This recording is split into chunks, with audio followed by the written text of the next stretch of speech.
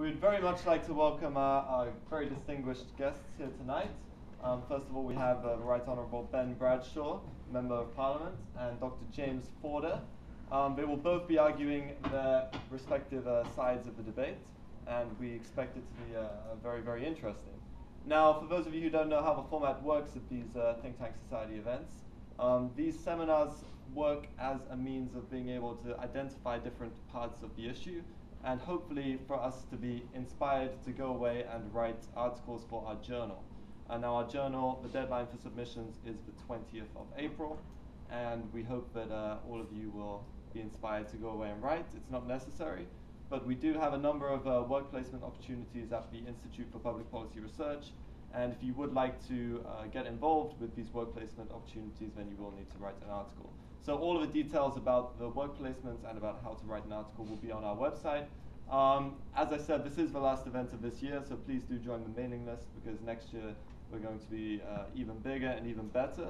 So if you would like to get involved uh, in the committee, we're going to be expanding, so please check over the summer all of your emails and keep posted with uh, what's going to be happening with the society. So without further ado, I would very much like to welcome our guests and hand over to Josh, who is going to be running the event for this evening. Thank you very much.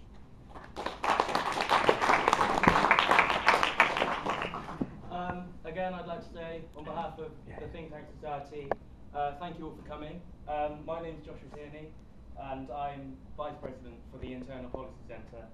Uh, I'm very proud to be able to welcome both speakers, Oxford academic and author of the book, The Case Against Voting Reform, Dr. James Forder, who will be speaking against the proposed change, and Ben Bradshaw, former cabinet, minister and current MP for Exeter, as well as leader of the Labour campaign for Yes to AV, who will be arguing for the proposed changes. Today we will be discussing the proposed change to the electoral system. Um, now, obviously, the system we use in the country at the moment is first past the post um, to elect the House of, House of Commons. Sorry. Um, and it's been criticised most notably by the Liberal Democrat Party um, as giving parties a disproportionate share of seats in the House of Commons, um, as well as uh, allowing parties to take seats without an overall majority uh, and having safe seats in those areas. Um, in 1997, Labour won 63.6% compared to their 43.2% uh, of popular vote. Um, so you can see where the criticism is coming from. The alternative vote system um, is a system that sees uh, voters rank candidates in order of preference um, in si single constituencies. People can nominate uh, as many candidates as they like um, and, and, rank them as they wish. Um, but in the first round, only your first preference counts. And in, in, in that round, if 50%, if one candidate gets 50% of the vote, then and they're automatically elected. However, if they do not, then um, the candidate with the lowest percentage is um, excluded and uh, their second choices are redistributed among the remaining candidates. Um, again, if they receive 50% of the vote, the, if a single candidate receives 50% of the vote, then they will be elected uh, as the MP. If there is no uh, overall majority, um, then the system continues until we do find someone with a 50% majority. Um, this might be slightly easier to understand with an example. Now, say there was a referendum for the new capital of Great Britain using the AV, and voters were asked to choose between either London, Glasgow, Newcastle, or Manchester. Um, now, say in the first round of voting, 39% of the population voted for London, 29 for Glasgow, Manchester got 19, and Newcastle got 13%. Now, London has the largest share, but no overall majority. So Newcastle is um, Newcastle's votes are redistributed, um, and London now has 42%, Glasgow 35, Manchester 23%. Um, still, there's no overall majority, but as you can see, London is still in the lead. Um, Manchester has the least number of votes, and Glasgow has increased dramatically um, thanks to the Newcastle's support, effectively. Um, now, Manchester is um, removed, and their second or third preferences if their second preferences were Newcastle are distributed to either London or Glasgow and uh, say now London has 46% and Glasgow has 54%. Um, Glasgow has the overall majority and is elected as the new capital city for London. Um, even though London uh, initially had the largest number of votes, you can see that um, the votes from Newcastle and Manchester, Newcastle and Manchester have allowed Glasgow to beat London. Um, this is obviously a hypothetical situation, but it does highlight how, with this system, one choice can overtake another um, in various rounds of vote allocation. Um, and if one choice is disliked by a significant proportion of the electorate, then it's unlikely to win. Um, so where is AV used? Where else um, can we see it in action? Well, it's actually already used in this country. Um, it's used for the mayor of Lo- to um, to vote for the mayor of London, and it is also used by the Labour Party and the Liberal Democrats to choose their leader. Um, internationally, it's used in Australia to let their, elect their House of Representatives and Papua New Guinea for, and for the election of the Fijian House of Representatives.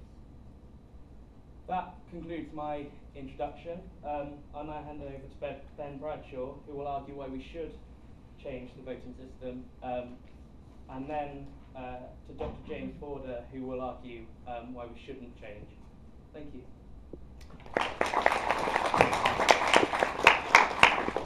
Um, thank you, Josh. I, mean, I, th- I think the, the choice that you face this evening is the same choice that you'll face on May the 5th, and it's not a choice between first past the post and your ideal voting system. It's a choice between first past the post and AV. Now, I don't think there is a, a, a, a perfect voting system anywhere in the world, uh, but it's my very strong view that first past the post has to be the least perfect. And let me just explain why I believe that's the case. What first past the post does, and you saw this in the last election in the UK in 2010, where that result was determined by the votes of just 1.6% of the electorate in a small number of swing seats, the seats that change hands and therefore determine the outcome of the election.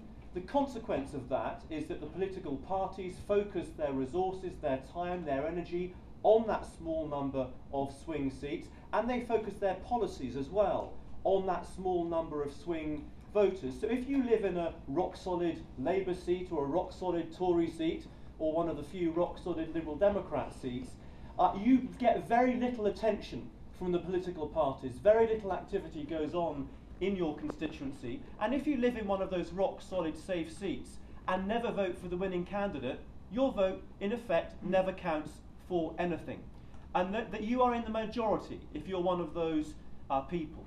What First Past, First Past the Post has also created is it's created something called the safe seat syndrome. The fact that around two thirds of existing constituencies in the UK never change hands.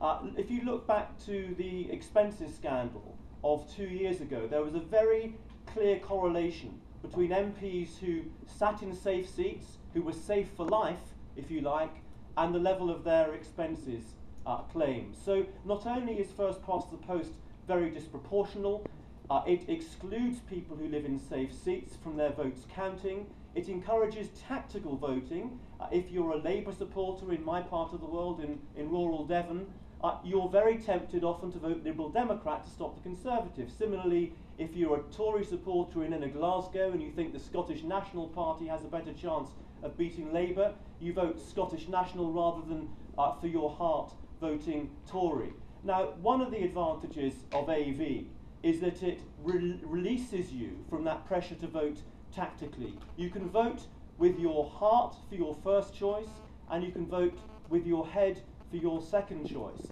Because it also requires the winning candidate to get beyond the 50% support from either first or second preferences. It also, I believe, gives that MP or candidate a greater level of legitimacy. Every MP who is elected can say that they have been elected on the first or second preferences of at least 50% of their voters. It reduces the safe seat syndrome because it makes it much easier for the voter to throw out a lazy, incompetent, or corrupt member of parliament, and it also makes it much less likely uh, that the members of the party concerned are going to select or tolerate a lazy, incompetent, or corrupt uh, member of parliament representing them. And there's one last point I want to make in AV's favour, and that is because individual candidates or MPs uh, will have to reach out beyond their core voters, I think it will lead to a more pluralistic and a more interesting uh, politics. At the moment, uh, you can be elected under first past the post with as little as 28% of the vote in any one constituency. And in many safe seats, individual candidates, if they work very hard at all, simply uh, project their message to their own core voters in the safe knowledge that they'll always be re elected. Because AV reduces the safe seat syndrome and requires you to be to win second preferences or to aim to win second preferences as well as first preferences, I think that will lead to candidates being more interesting, uh, more original, uh, and more pluralistic in their political appeal. Uh, it's no accident, for example, that uh, civic society organisations like Operation Black Vote and other organisations that represent underrepresented uh, people in our democracy are supporting a switch to AV. So I think I'll leave my initial comments there, but I look, at, look forward to teasing out some of these uh, ideas in the discussion that we'll be having in a moment's time. Thank you.